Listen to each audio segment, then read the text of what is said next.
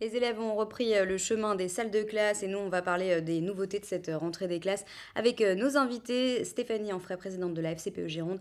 Bonsoir à vous. Bonsoir. Et Patrick Labesse du syndicat enseignant SE UNSA. Bonsoir à vous. Bonsoir. Alors, la mesure phare de, du début de quinquennat d'Emmanuel Macron, on en a parlé dans, le journal il y a un instant, c'est ce dédoublement des classes de, CP et de, CE1 désormais dans les zones d'éducation prioritaire. 12 élèves donc par classe en CP et en CE1. Ça se met en place petit à petit. On sait que à cette rentrée, les CE1 sont euh, également euh, concernés. On a l'impression que c'est une mesure finalement qui satisfait tout le monde. Elle fait, euh, elle fait consensus chez les professeurs comme chez les parents d'élèves. C'est une excellente initiative, effectivement, parce que c'est une réalité. Moins il y a d'élèves dans une classe, plus les, je dirais, les, chances de réussite sont, importantes pour les élèves. Mais il y a, des mais malgré tout. À savoir qu'avec moyens constants, cela signifie qu'aujourd'hui, il n'y a plus d'effet de, de, seuil dans les établissements. Ça veut dire que si on a peu d'élèves dans une classe, dans d'autres établissements, eh bien, il y aura beaucoup d'élèves. Ça se répercute donc sur d'autres classes d'établissements qui ne sont pas dans ces zones d'éducation. sont pas classés, voilà. Euh, du point de vue des professeurs, vous avez l'impression d'avoir été entendu sur euh, la surcharge des, classes notamment? Alors, c'est deux choses différentes. Le, la, mise en place de ces classes dédoublées en CP et en C1 dans les zones d'éducation prioritaire est une excellente chose. Tout le monde est d'accord pour le dire aujourd'hui, c'est une excellente chose. Après, ça pose un certain nombre de, problèmes.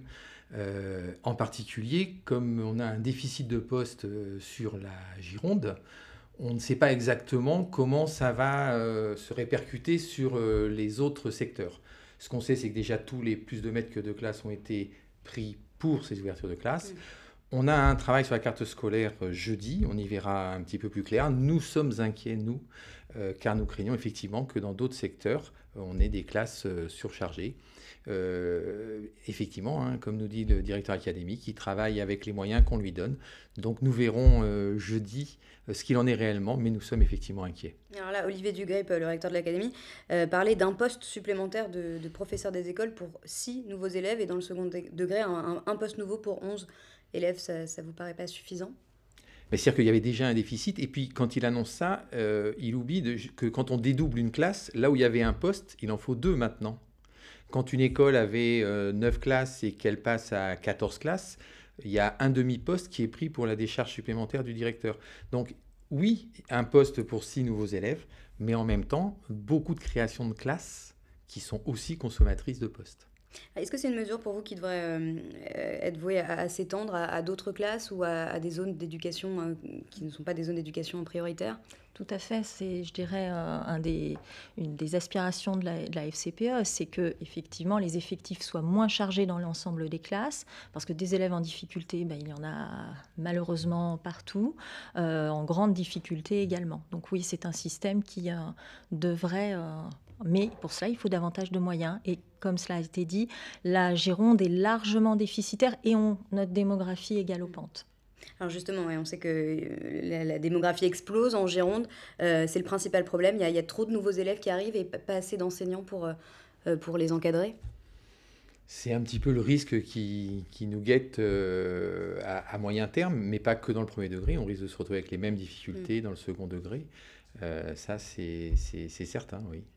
Alors les deux autres nouveautés de cette euh, rentrée, on a, on a beaucoup de choses, l'interdiction du portable euh, dans, dans, les écoles et les collèges, ou encore le retour de la semaine euh, de 4 jours, par exemple, c'est le cas dans, dans, les 105 écoles publiques de Bordeaux. pour vous, on dit souvent que, que cette semaine de 4 jours, euh, ça revient à des journées beaucoup trop chargées pour, euh, pour les élèves. Est-ce que vous, vous êtes d'accord avec ça, la FCPE Tout à fait.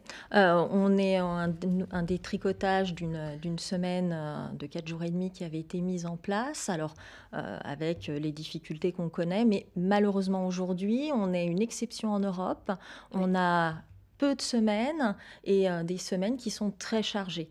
Donc c'est vrai qu'aujourd'hui, on parle de la, question de la réussite des élèves.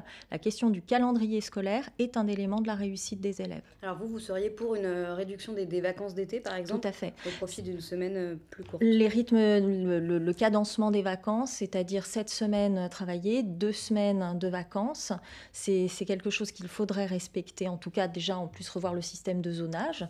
Pas oublier qu'on a chaque année une, euh, une dernière zone qui se retrouve, et là, c'est surtout le premier degré bien évidemment qui est concerné, euh, avec euh, une semaine de, je dirais 11 semaines de classe. et puis des semaines donc d'été qui sont très très longues. Alors pourtant, il n'y avait pas une concertation des parents d'élèves autour de cette question de, de la semaine de de 4 jours?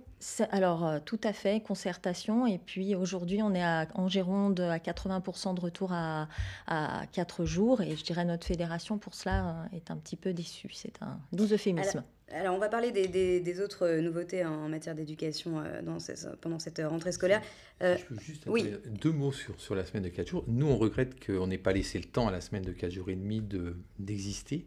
Hein, donc il y a un retour là-dessus. Et puis effectivement, c'est difficile de dissocier la, semaine du reste du calendrier scolaire et il faudra qu'un jour ce, ce chantier du rythme et des vacances euh, soit vraiment ouvert euh, sérieusement. Vous pensez qu'on n'a pas eu assez de recul sur cette semaine de 4 jours et demi ce que nous pensons, oui. Il n'y a eu aucune en fait étude, on n'a pas laissé le, temps justement d'évaluer cette, euh, cette semaine de 4 jours et demi en parlant d'évaluer, euh, des évaluations euh, vont se mettre en place et vont se multiplier.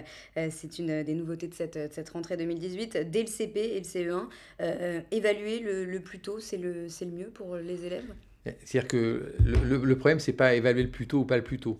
c'est savoir pourquoi on évalue et ce qu'on évalue. Hein. C'est-à-dire qu'il ne faut pas penser qu'on n'évaluait pas dans les écoles, par exemple. Hein. Euh, l'évaluation est quelque chose qui est pratiqué très régulièrement par les enseignants au profit mmh. euh, de, du travail pédagogique en classe. Là, on va voir euh, évaluation en début de CP, en milieu de CP, évaluation en CE1, en 6e, en seconde. Alors à quoi ça va servir On sait pourquoi elles sont mises en place Officiellement, c'est fait pour effectivement nous aider à mieux cerner nos élèves. Ce qui est sûr, c'est que cette année, on perd le contrôle de la correction et de l'analyse, hein, puisque tout ça va être informatisé. informatisé et traité au niveau de l'ADEP. On verra bien, mais euh, je vous ai garanti que ça crée une certaine inquiétude chez les enseignants. Il y a la question du mais à quoi ça va servir et comment ça va être utilisé et comment moi, enseignante de ma classe de CP, je vais pouvoir les utiliser. Pour les, pour, les élèves aussi, c'est que c'est compliqué peut-être, ça crée un, un, bachotage un peu permanent dans ce... Un, un, bachotage permanent, mais la question effectivement de se dire c'est à quoi ça sert effectivement, évaluer pour évaluer si c'est pour euh, prendre, prendre en charge des difficultés, mais là c'était déjà fait dans les établissements. Euh, la question qu'on peut se poser, est-ce que ce n'est pas aussi à terme, voire risquer euh, l'apparition d'une mise en concurrence des établissements, mm. des enseignants, etc. il y a beaucoup de questions et d'inquiétudes. Si l'enfant n'atteint pas euh, les objectifs, qu'est-ce qui se passe en fait? C'est ça aussi la question. Alors, logiquement, s'il n'atteint pas les objectifs, justement, c'est là qu'intervient notre travail. Ah, voilà.